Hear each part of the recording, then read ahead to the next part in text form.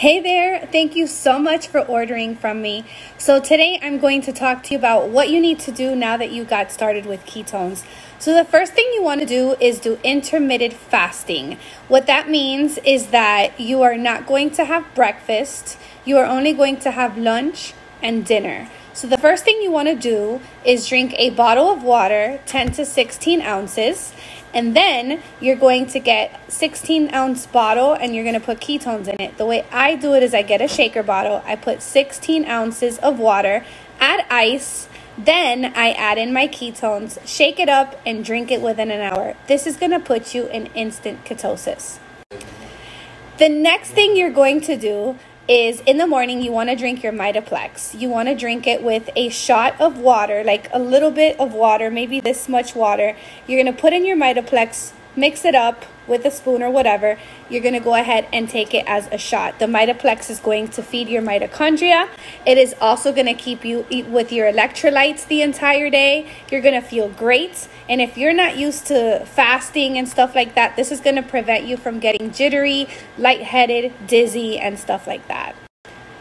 All right, you have to now stay hydrated. It is so important to drink half of your body weight in ounces or try to drink at least two liters of water a day. That's what I do. So just kind of average out. So let's say five bottles of water a day should be okay.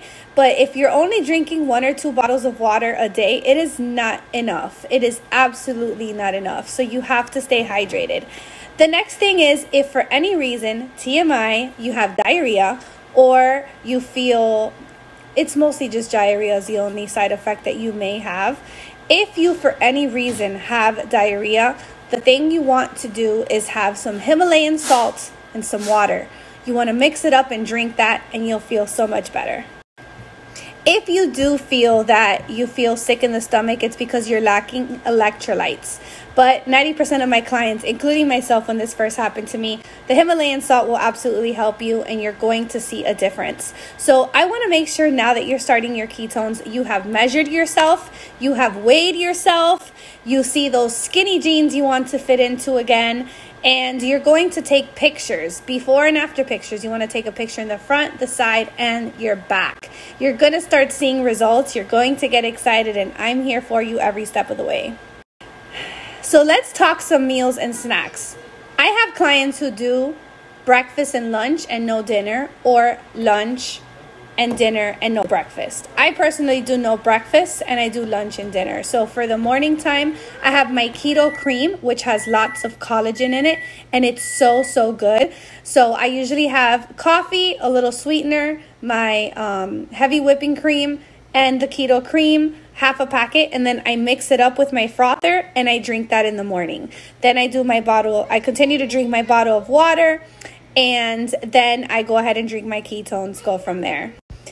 It's very important that you do a 16 hour fast. You want to download an app, it's called My Fast. And with that application, it's going to calculate your 16 hour fast. So maybe you want to do two days a week, 20 hour fast, and the rest 16 hour fast. It's very important that you do this. It's also going to help you reset your metabolism.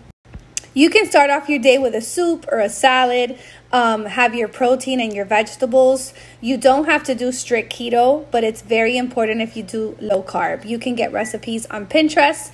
You can go to Instagram, hashtag keto bites, keto meals. You're going to see a lot of things there if you want to do keto. Um, I personally don't do keto. I personally do lazy keto, so I do have carbs every now and then. Um, but there's so many different recipes. Now, if you want a snack, you can have string cheese, you can have almonds, um, you can have any berries that you want.